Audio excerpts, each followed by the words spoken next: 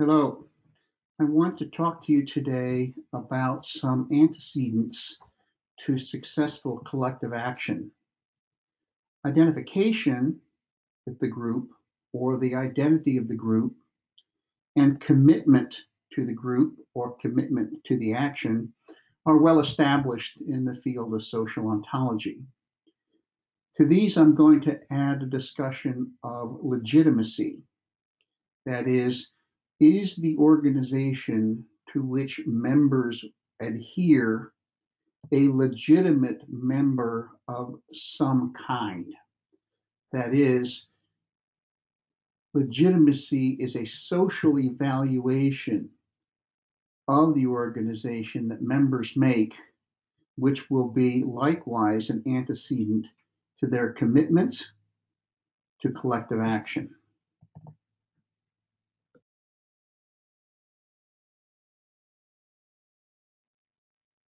For nearly a quarter of a century in social science research, particularly the sociology of organizations, we've used organizational identity much as a metaphor or an analog to individual identity. That is, typically we see this as vertical theory borrowing from social psychology this has caused, in some ways, a debate in social science about whether organizational identity is truly a construct that can be studied, or whether, as a metaphor, it is nearly merely a pointer to some kind of social glue in the organization. Much of the justification for using organizational identity is that organization is a social actor, much in the way that List and Pettit use it as a social actor in their discussion of group agency. Likewise, there has been a long history of the study of organizational legitimacy in social science work. Does the organization belong to a particular kind? That is, does it conform to the established norms of this kind, either in its structure or its behavior? And we would call the combination of structure and behavior in this case the organizational form. If the organization is legitimate, that bank like thing is really a bank, then its identity complies with the social identity of the referent type. And so once that, that token uh, is established as being a member of the type, then we can proceed with analyzing it as that social actor type.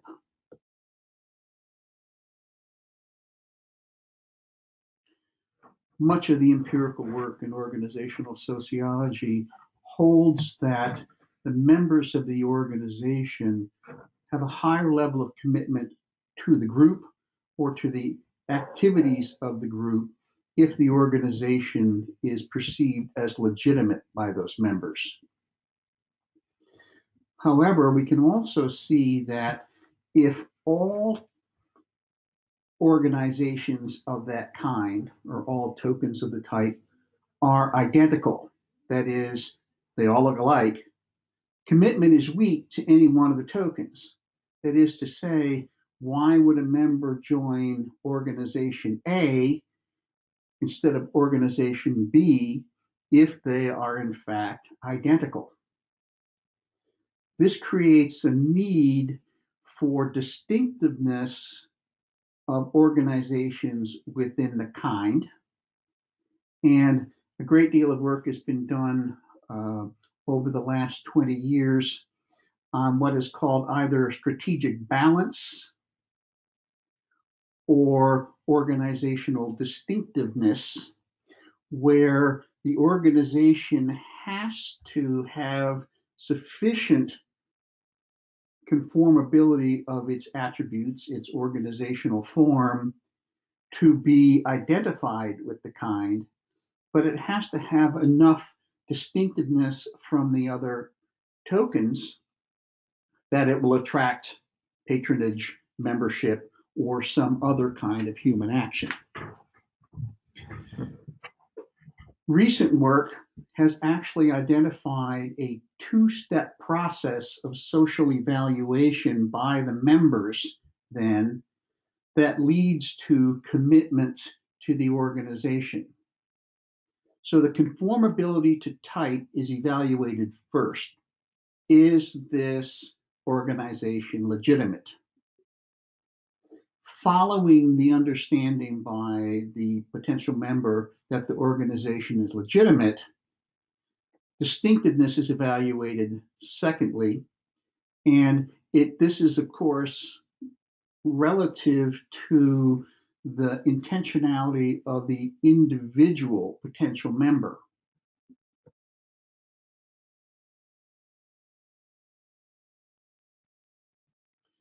This research suggests that this two step evaluative process is antecedent to commitment to the organization. Legitimacy is required for commitment, both to the act of membership and subsequent collective action by the members. Now, this evaluation of legitimacy is not a one time event, it's actually an ongoing process if the organization is long lived. And that organization may be a membership organization, a voluntary organization, a corporation, a university, whatever uh, organizational form uh, it takes. Now, the evaluation of distinctiveness that is closer to a match between the individual's identity and the identity of the organization is highly individuated and it may lead to conflict among the members or at least to less than full cooperation over time. So both the first and second steps of this evaluative process are going on through time, and we would see that members may defect from the organization if they no longer feel committed to the organization because either the lack of perceived legitimacy or the lack of perceived distinctiveness to which they can identify. So, commitment is well established in the literature, and there are well validated scales for measuring commitments, hundreds of published studies with a relatively small set of well validated scales. One of the most important of these is three prominent commitment states affective commitment, normative commitment, and continuation commitment. Affective is easily understood. Normative tends to be about loyalty to the organization or about the feeling that they are required by social convention to remain with the organization. And continuation commitment is a very instrumental thing that basically says, I can't leave this organization. If I do, then I will suffer some negative consequence.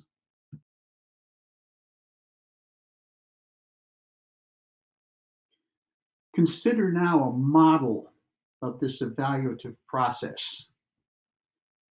An existing member or a potential member to an organization has expectations of the identity of that organization.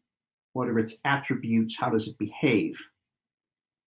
then it also has a set of perceptions about that particular organization.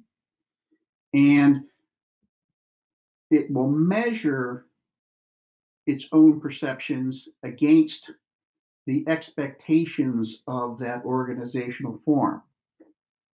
To the extent that the perceptions match the expectations, it's a legitimate organization. And we might define this as having a very small or non existent identity gap between expectations and perceptions. There's also an identification process based on the distinctiveness that goes on. And this is that highly individuated uh, second step evaluation. If the identity gap is large, the commitment to the organization falls. If the identity gap is low or zero, commitment will be high. If identification with the attributes of the particular organization is high, that is, there's high level of identification, that will be positively associated with commitment to the organization. And this would be evaluated at initial membership and ongoing membership by the members or the potential members over time. So the hypothesis we have is that the step one evaluation, the legitimacy, the identity gap, would actually be a stronger explanation for the level an individual has to commitment to the organization and its collective action. So we were going to test this actually in the field to see if this hypothesis is supported.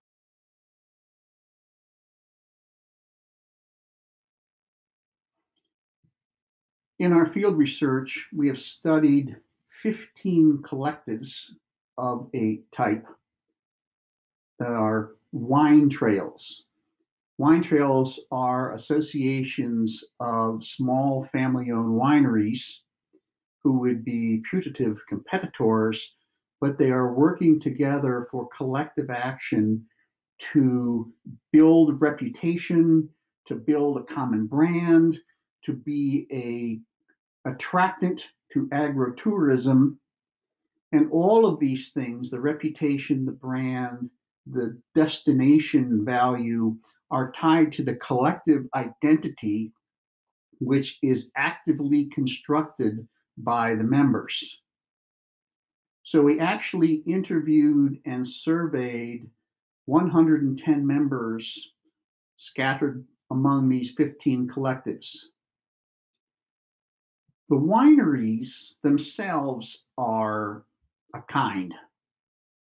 That is, because they are family owned, they have similar scale, similar ownership structure, they tend to be highly localized, and within the membership of a particular wine trail, they're basically neighbors.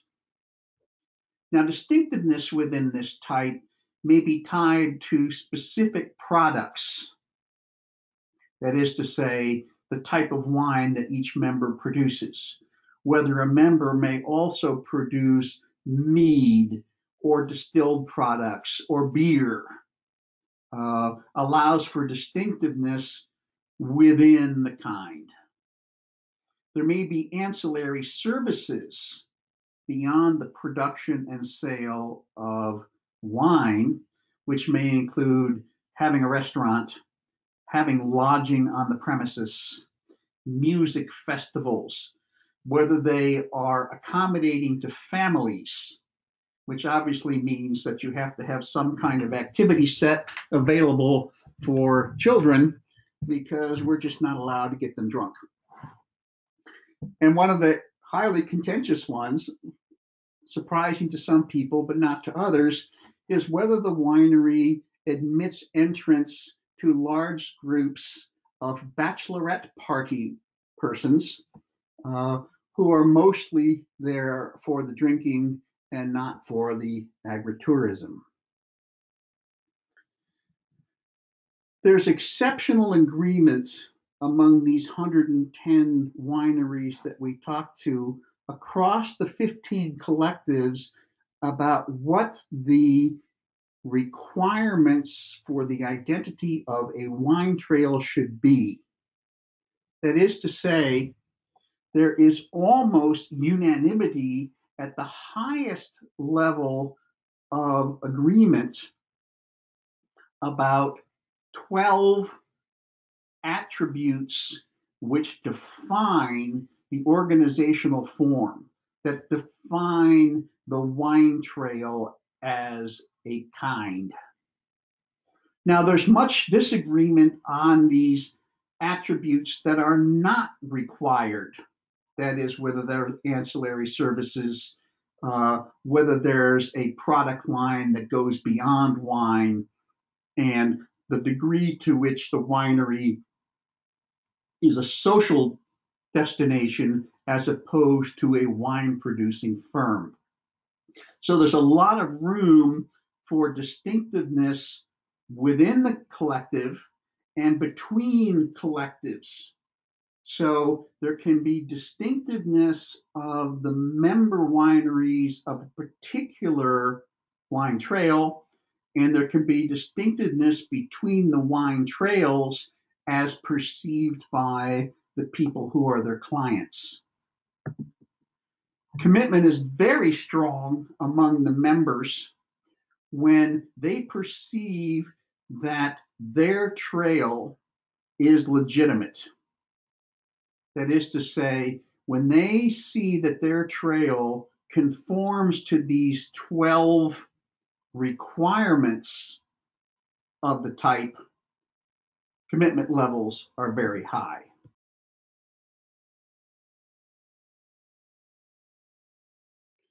After we completed the field work, we were trying to understand better the levels of commitments and the reasons for that that we saw across the 110 respondents. Fortunately, some of the recent work which has been done on minimally cooperative groups or minimally cooperative behavior uh, allowed us to actually make sense of what we actually observed in the field. We found two of the 15 wine trails that meet Kirk Ludwig's definition of minimally cooperative. That is, they all admitted that they had a group identity. Yeah, we're all on the map.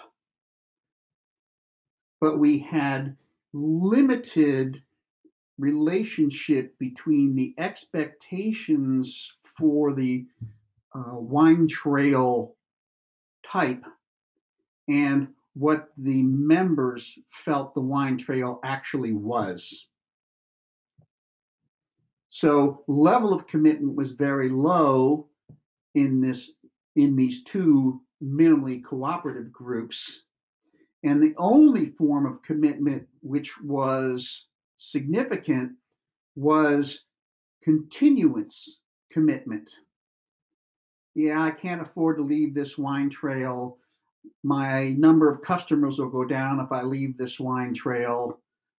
I have no alternative but to stay on this wine trail, were the typical kinds of responses that we saw to members who were ongoing but had a low level of commitment.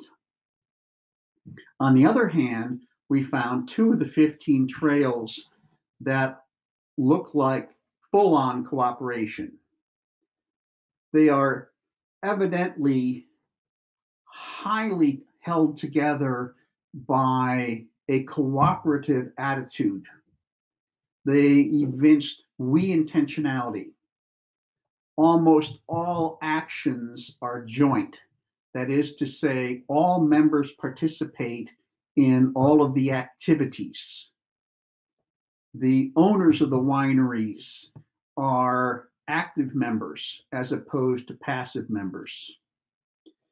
The members of those wine trails send the clients that they receive to the other members of the wine trail so that they can have a superior experience overall with the group. And in these fully cooperative trails, commitment is high for both affective and normative commitments. That is to say, they feel like these wine trails are family. They feel that they enjoy the membership. As well, they feel normatively committed to the sense that it would be wrong to leave the wine trail. That I would not be able to see myself in the mirror if I left the wine trail. Now, between those two extremes, the remaining 11 trails are less easy to classify based on the level of commitment or the level of behaviors between a minimally cooperative and a maximally cooperative organization. It often turns on the level of affective commitment, which in turn is driven by how much the distinctiveness of the trail accommodates the distinctiveness of the member winery. So there are some wine trails that are not as accommodating to their members producing non wine products. So they actually don't let new members in that want to produce distilled products or mead or something else. There are some trails which do not accommodate Disneyland for adults, having all sorts of destination oriented activities to draw families, to draw groups, and so on, as opposed to what's in the bottle.